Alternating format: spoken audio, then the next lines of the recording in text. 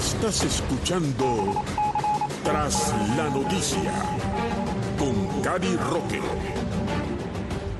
Qué bueno que están de regreso en nuestra segunda media hora para Tras la Noticia, donde como todos los viernes, pues son dos viernes de Ceiling, nuestro querido analista político, politólogo, profesor y creador del tanque de pensamiento Patria de Martí. Buenas tardes, Julio. Bienvenido a Tras la Noticia. Buenas tardes, eh, querida Cari, orgulloso y, privilegiado de compartir eh, contigo este eh, patriótico espacio de Tras la Noticia con el, el tremendo equipo de ACE de Radio y Televisión Martí, como el equipo de los, de los Yankees, de los 40, Invencibles, y esa gran audiencia que tiene este me gustaría comenzar por algo muy interesante. A mí me encantan los titulares eh, con que Cuba trata de, de, vender que es un, una, una democracia. Y voy a compartir con usted el nuevo marco legal aprobado por la Asamblea Nacional Cubana amplía teóricamente los derechos ciudadanos ante los tribunales. Esto si no fuera tan triste, sería motivo de risa, porque un país donde no hay proceso legal, donde por decreto y por escarmiento se fusila a tres ciudadanos cubanos cuando el caso de la lanchita de regla. Y ahora, pues, la Asamblea Nacional Cubana aprobó ayer cuatro nuevas leyes sobre el sistema judicial que amplía al menos en teoría los derechos de los ciudadanos. Voy a compartir brevemente cuáles fueron. Le dieron luz verde a ley de los tribunales de justicia, ley de proceso penal, ley de proceso administrativo, ley de código de proceso. Esto me gustaría que usted me analizara si es un chiste cruel, cuando desde el día uno no ha habido una legalidad que ampare al pueblo cubano y no han permitido que organismos internacionales sean relatores de violaciones de derechos humanos en Cuba. Mi querida Cari, en, en, la semántica eh, legal, eh, eso se llama letra muerta. En otras palabras, es totalmente eh, irrelevante. primero, porque la legalidad socialista no significa absolutamente nada en un sentido de cómo es en los sistemas republicanos, en las democracias, donde hay un Estado de Derecho que respalda eh, eh, lo que es el orden escrito y tiene una independencia de la, la rama ejecutiva y la rama legislativa. Eso no es el caso en, Cuba comunista. O sea, todas las, leyes eh, proceden directamente del Partido Comunista de China, de, Cuba, eh, son en efecto instrumentos diseñados para perpetuarse en el poder.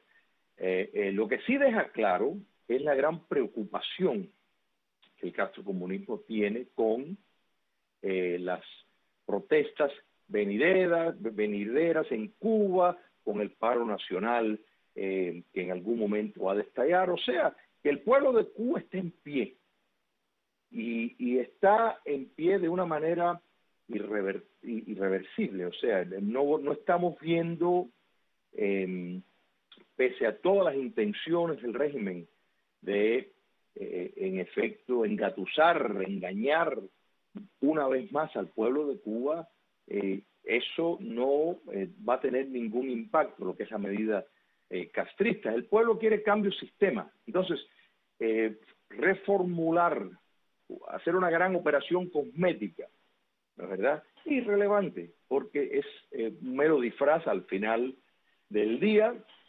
eh, la imposición eh, socialista, o sea, el, factor sistémico, es el que prevalece.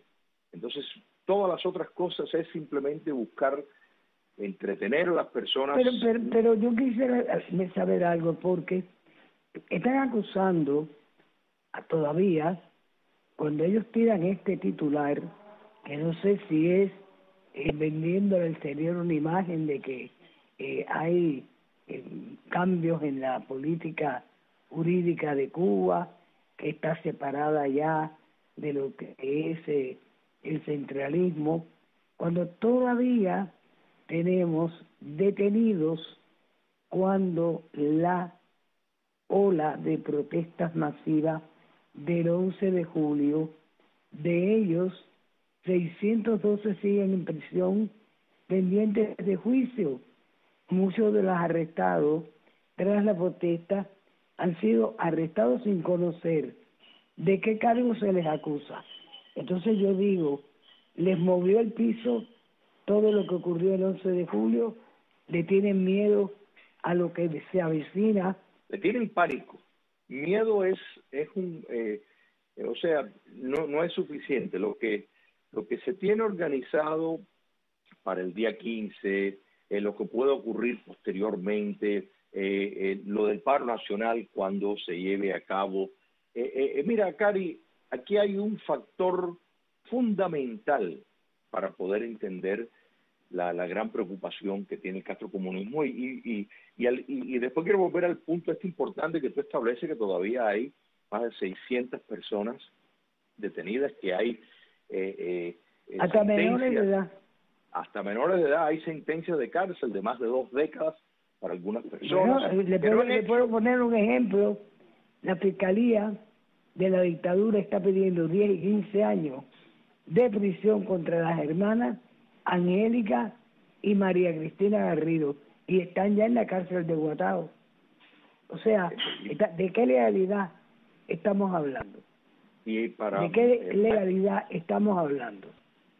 No, la legalidad que, que utilizan para mantenerse en el poder, que eso no es el imperio de la ley, no es un Estado de Derecho, no es en ningún sentido un orden eh, constitucional a la altura de una eh, eh, república. Entonces, sí están preocupados y sí, por supuesto, está diseñado para el exterior, vamos a empezar por ahí, con el fin de que se le ponga, o sea, que, que, que vaya a mermar la presión que viene de las democracias en Europa, de los Estados Unidos, y el enfoque en los derechos humanos. Ellos están tratando de ver si esto sirve para engañar una vez más a el mundo libre. Pero también es un mensaje para el pueblo de Cuba, un, un mensaje fraudulento, pero un intento de hacer una separación y decirles, bueno, no, lo del 11, lo del 11 de julio fue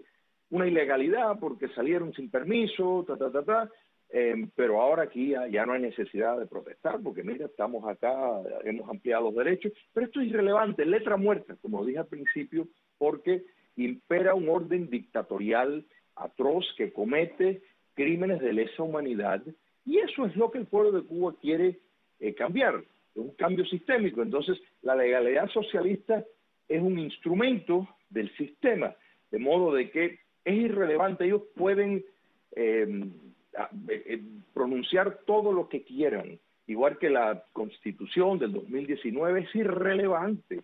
Es irrelevante porque no tiene ninguna relación ni ninguna equivalencia con lo que son eh, magna cartas de sociedades libres donde se establecen límites, límites al alcance del poder. Aquí no hay límites al alcance del poder. Esto es una maniobra de presentar una imagen falsa hacia afuera e intentar de nuevo de engañar de una vez más a el, pueblo de Cuba que ya está decidido a em, exigir y reclamar sus derechos naturales. Y esto es muy importante, Cari, no estamos hablando de grupos, no estamos hablando de simplemente sectores de la población. Estamos hablando de un pueblo en pie, un pueblo que em, ya no está interesado en salir hacia afuera, o sea, de emigrar, de buscar soluciones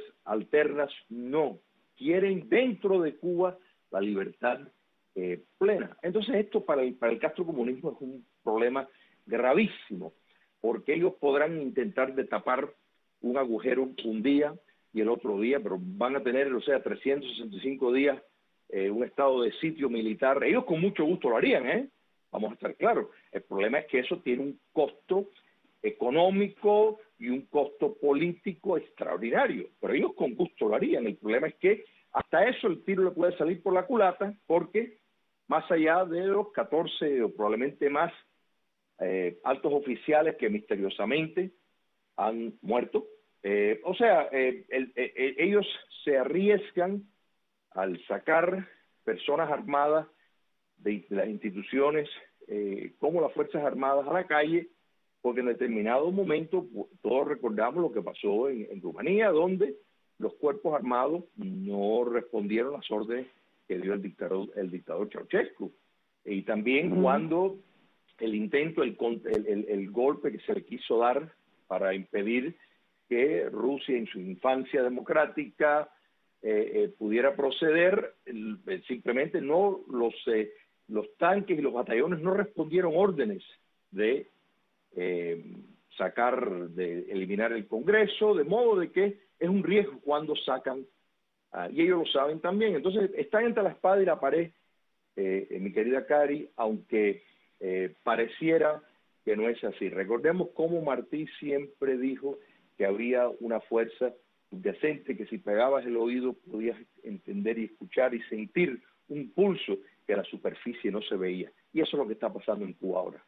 Ahora bien, me gustaría analizar con usted que tiene una mirada bien larga y un olfato este nombramiento de Josefina Vidal, eh, indudablemente aquí hay cola que le pise, eh, porque ha sido nombrada viceministra de Relaciones Exteriores de Cuba.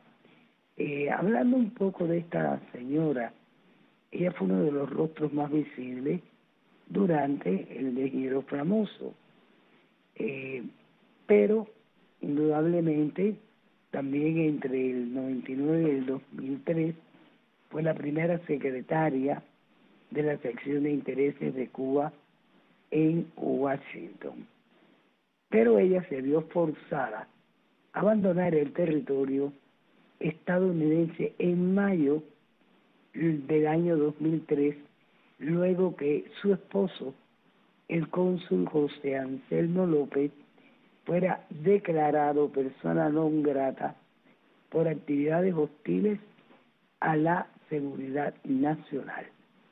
En esa ocasión, estando de presidente, George W. Bush expulsó a López, primer secretario de Asuntos Consulares de la Legación Diplomática, y Vidal Ferreiro, la hoy viceministra de Relaciones Exteriores abandonó el país meses después de su esposo. Eh, ¿Cómo ve usted este tipo de eh, cambio en el Ministerio de Relaciones Exteriores? Eh, ella está graduada indudablemente de Relaciones Políticas internacionales, es una mujer preparada, eh, de modo igual estuvo al mando de la Dirección General de Estados Unidos del MENRES y fue analista en la Embajada de Cuba en París, Francia. Pero usted conoce la categoría de la forma en que funcionan los cuasi diplomáticos cubanos.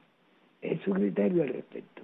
Sí, el, primero tenemos que aclarar que el Ministerio de Relaciones Exteriores es eh, simplemente una rama de la inteligencia castrista en los cuerpos diplomáticos. Tan sencillo como eso, o sea, es el ejército de, espías, de agentes de la inteligencia y la contrainteligencia que eh, operan en el exterior y tienen la tarea de eh, promover desinformación, de reclutar espías, eh, de penetrar gobiernos e instituciones en el exterior. Entonces, en el caso específico de Josefina Vidal, pues ella es una muy calificada agente de la inteligencia, eh, los Estados Unidos lo sabe de sobra. Sin embargo, eh, cuando el acercamiento y las negociaciones eh, con eh, el, el régimen... Recordemos que ella estaba, ella estaba a cargo como embajadora de Canadá. O sea que algo se está moviendo en el tapete de lo que es poner rostros nuevos, visibles, o mm, están tratando de eh, llevar adelante una política donde hay una trastienda y necesitan de nuevo de los servicios de la señora Vidal. Por supuesto, porque ella, eh, sin lugar a duda, eh, por ejemplo, en las negociaciones con los Estados Unidos, estableció muchas relaciones con estadounidenses personas dentro del gobierno eh, eh, del expresidente Obama que hoy en día pues pueden tener acceso a, proximidad al secretario de Estado eh, Blinken y a otros oficiales en el gobierno del presidente Biden. Entonces, eso es lo primero. En cuanto a Canadá, Canadá es un aliado de los Estados Unidos y normalmente operan en, en simetría en cuanto hace una movida. Entonces la tienen Primero porque es una agente, es una espía eh, muy calificada y eh, ha establecido relaciones en, los Estados Unidos y Canadá eh, muy fuertes. Entonces, esa es la idea. E, esto podemos decir es otro, o sea, es otro ejemplo de una movida para tratar totalmente de reacción a una amenaza al Estado dictatorial del poder. Entonces, pues la vuelven a colocar en la palestra con esa, con ese fin, eh, con ese, con esa idea. Entonces, eh, tendrá éxito o no es otra cosa diferente, eh, porque aquí ya el, el, las fuerzas en el mundo libre que quedaron impactados por todo lo que ocurrió el 11 de julio, ese reclamo popular, porque hay que entender y volver a esto, eh, Cari, eh, que los conocedores del tema cubano, eh, eh, claro, siempre lo han tenido que desde el primero de enero ha habido una, una guerra de liberación para liberar a Cuba del comunismo. sin embargo, el régimen pues siempre lo ha tratado de vender esto y todavía lo sigue tratando de vender como que son fuerzas que responden a gobiernos extranjeros y que en su mayoría el pueblo de Cuba está contenta con eh, el sistema dictatorial comunista que existe. Pero el 11 de julio probó, y, en, cierto sentido, por ejemplo, el, impacto del 80 en, el Mariel, en, la Embajada del Perú, o sea, fueron eh, em, eh, erupciones que determinaron la realidad de lo que ocurre en Cuba, que el régimen, pues eso le fue muy difícil. Lo del 11 de julio, facilitado por la tecnología, eh, quedó para, para los ojos de todo el mundo un pueblo totalmente descontento y un pueblo que lo, para quienes muchos pensaban que eran políticamente incultos, demostró ser un pueblo bien concientizado y bien en las bien claro en las exigencias de libertad y que basta ya del comunismo. Entonces, pues es muy difícil distorsionar y decir, bueno, esto era por eh, por la pandemia. ¿Cómo que era por la pandemia? Nadie estaba pidiendo vacunas, nadie estaba pidiendo problemas de la pandemia, le estaban pidiendo libertad. Estaban pidiendo libertad. Exacto. libertad absoluta. el pueblo de Cuba sabiamente, sabiamente envió el mensaje claro y contundente. Les movió el piso. Les movió el piso y ahora no saben, no saben cómo llevar adelante una política donde ellos a golpes de zanahoria y porrazo, o sea, te doy y te quito, tratar de enviar algún tipo de mensaje con la presencia de nuevos rostros. Pero me gustaría, eh, de cara ya a las elecciones del próximo 7 de noviembre, eh, el órgano independiente de, de la OEA, que es la Comisión Interamericana de Derechos Humanos, denunció que las elecciones en Nicaragua están buscando perpetuar a Daniel Ortega en el poder. Estamos a 7 de noviembre, ya lo tenemos encima, y la Comisión de Derechos Humanos, pues eh, en su informe señala impunidad estructural y crímenes de lesa humanidad. Deme su criterio, por favor. La Organización de Estados Americanos se, se creó principalmente para defender el modelo republicano de, gobierno y espacios libres a través de todo el continente. Eh, me parece que es una movida muy correcta que se tomara acciones no solo de condenar, sino de eh, considerar opciones mucho más contundentes para liberar a Nicaragua, igual que debería ser el caso con Venezuela, igual que debería ser el caso con Cuba. Y podemos añadir Bolivia también, que eh, es parte es otro eh, modelo que, surge desde el Foro de Sao Paulo de la nueva forma de llegar al, poder. Entonces, eh, precisamente por estas cosas es que cuando miramos a otros lados, como en Colombia, es fundamental que no, que, no se establezca equivalencia falsa con movimientos subversivos que buscan llegar al poder para perpetuarse. Ahí lo tenemos en, en Nicaragua. O sea, después de una guerra de liberación por la resistencia nicaragüense, que fue lo que, fue lo que abrió la puerta y exigió las elecciones que perdió eh, eh, grandemente el sandino comunismo, ¿cómo es que regresan? Bueno, regresan porque no hubo las medidas posteriores en, democracia y en libertad para eh, precisamente evitar que el mal llegara al poder. Pero esto, eso que ocurrió en el 2007 fue producto del modelo que se calibró en el foro de Sao Paulo. Bueno, esto, en julio comienza ahora e indudablemente hay una realidad. Esta es la punta de un iceberg. Eh, tendremos que seguir analizando porque ya las elecciones están encima y esto es un estado policíaco peor o igual que el que existe de terrorismo estatal en Cuba y en Venezuela. Quiero agradecerte como siempre, Julio, tu aporte y despedirte en la tarde de hoy, deseándote que tengas un lindo fin de semana, dándote las gracias por haber estado con nosotros, con tu análisis coherente, no solamente de Cuba, sino de la problemática en la región. Gracias. Un placer siempre, querida Carlos. Bien, y con esta me despido en la tarde de hoy, agradeciendo a Efraín García la asistencia técnica, la producción de Jaime Almeral. Que tengan todos muy buenas tardes y los dejo con la programación de radio y televisión Martín.